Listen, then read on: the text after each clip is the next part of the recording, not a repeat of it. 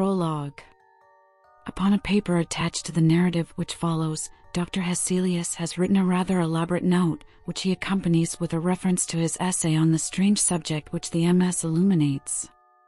This mysterious subject he treats, in that essay, with his usual learning and acumen, and with remarkable directness and condensation. It will form but one volume of the series of that extraordinary man's collected papers. As I publish the case, in this volume, simply to interest the laity, I shall forestall the intelligent lady who relates it in nothing, and after due consideration, I have determined, therefore, to abstain from presenting any précis of the learned doctor's reasoning or extract from his statement on a subject which he describes as involving, not improbably, some of the profoundest arcana of our dual existence and its intermediates.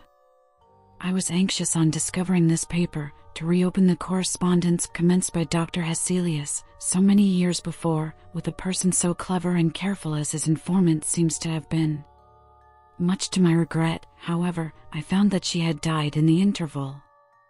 She, probably, could have added little to the narrative which she communicates in the following pages, with, so far as I can pronounce, such conscientious particularity. An early fright. In Styria, we, though by no means magnificent people, inhabit a castle or schloss. A small income in that part of the world goes a great way. Eight or nine hundred a year does wonders. Scantily enough, ours would have answered among wealthy people at home. My father is English, and I bear an English name, although I never saw England. But here, in this lonely and primitive place, where everything is so marvelously cheap, I really don't see how ever so much more money would at all materially add to our comforts, or even luxuries. My father was in the Austrian service and retired upon a pension in his patrimony and purchased this feudal residence and the small estate on which it stands a bargain. Nothing can be more picturesque or solitary.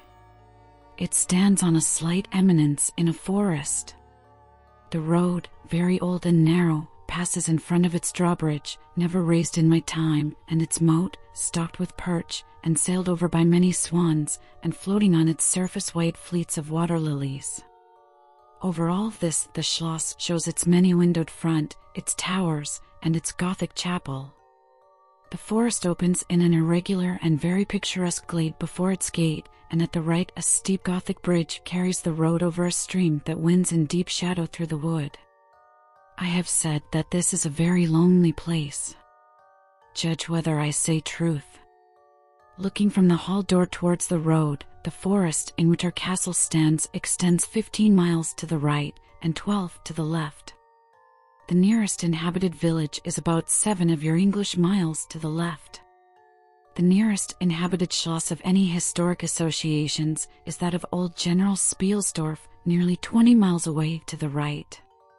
I have said the nearest inhabited village because there is, only three miles westward, that is to say in the direction of General Spielsdorf's Schloss, a ruined village, with its quaint little church, now roofless, in the aisle of which are the mouldering tombs of the proud family of Karnstein, now extinct, who once owned the equally desolate chateau which, in the thick of the forest, overlooks the silent ruins of the town. Respecting the cause of the desertion of this striking and melancholy spot, there is a legend which I shall relate to you another time. I must tell you now how very small is the party who constitute the inhabitants of our castle. I don't include servants or those dependents who occupy rooms in the buildings attached to the Schloss. Listen and wonder. My father, who is the kindest man on earth, but growing old, and I, at the date of my story, only 19. Eight years have passed since then. I and my father constituted the family at the Schloss.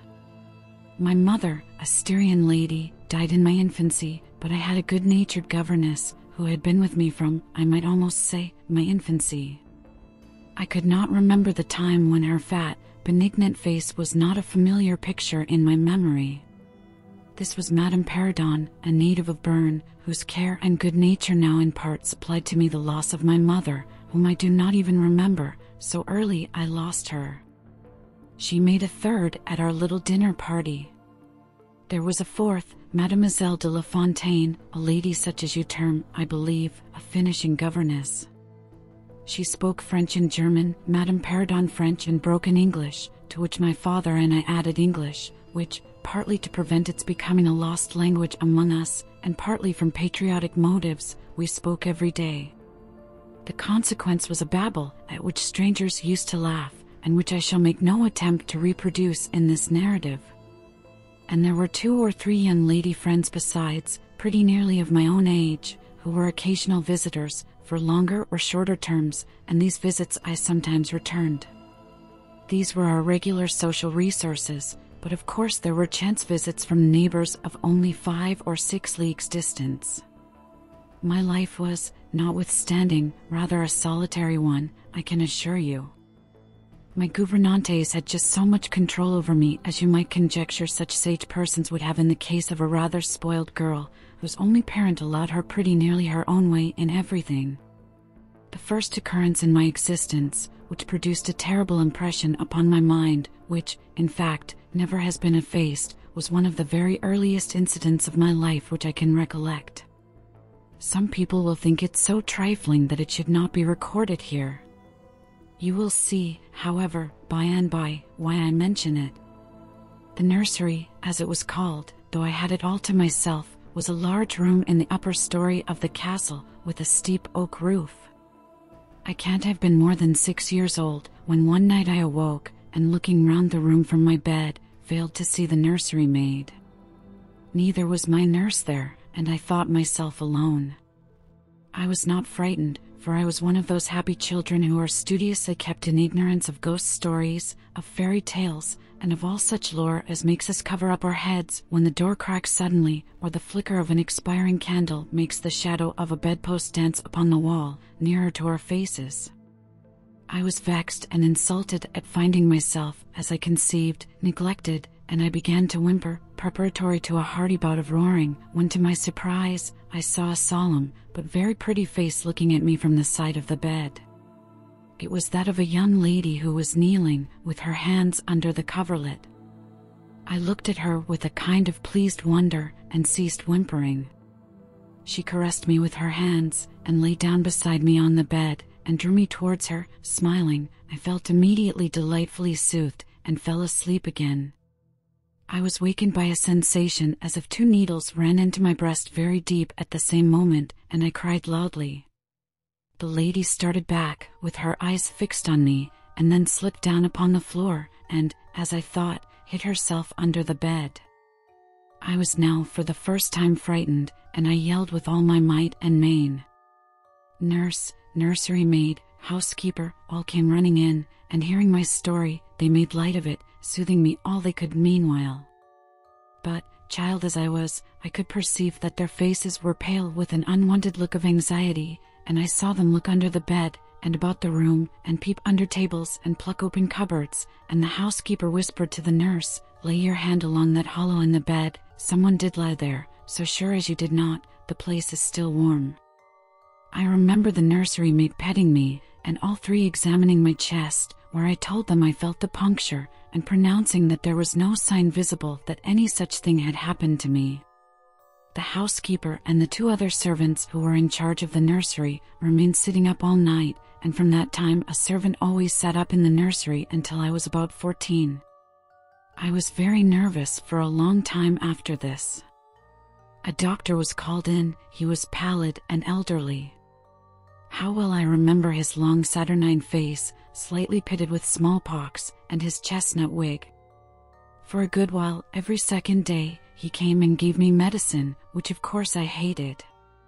The morning after I saw this apparition, I was in a state of terror and could not bear to be left alone, daylight though it was, for a moment.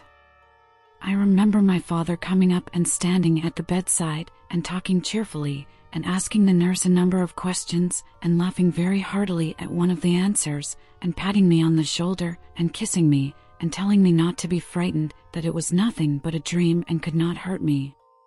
But I was not comforted, for I knew the visit of the strange woman was not a dream, and I was awfully frightened. I was a little consoled by the nursery maid's assuring me that it was she who had come and looked at me and lain down beside me in the bed and that I must have been half dreaming not to have known her face. But this, though supported by the nurse, did not quite satisfy me. I remembered, in the course of that day, a venerable old man in a black cassock coming into the room with the nurse and housekeeper and talking a little to them and very kindly to me. His face was very sweet and gentle, and he told me they were going to pray and joined my hands together and desired me to say softly while they were praying, Lord, hear all good prayers for us, for Jesus' sake. I think these were the very words, for I often repeated them to myself, and my nurse used for years to make me say them in my prayers. I remembered so well the thoughtful, sweet face of that white haired old man in his black cassock as he stood in that rude, lofty, brown room with the clumsy furniture of a fashion 300 years old about him and the scanty light entering its shadowy atmosphere through the small lattice. He kneeled, and the three women with him, and he prayed aloud with an earnest, quavering voice for what appeared to me a long time. I forget all my life preceding that event, and for some time after it is all obscure also, but the scenes I have just described stand out vivid as the isolated pictures of the phantasmagoria surrounded by darkness. Thank you for watching. Please like and subscribe and press the bell icon to get new video updates.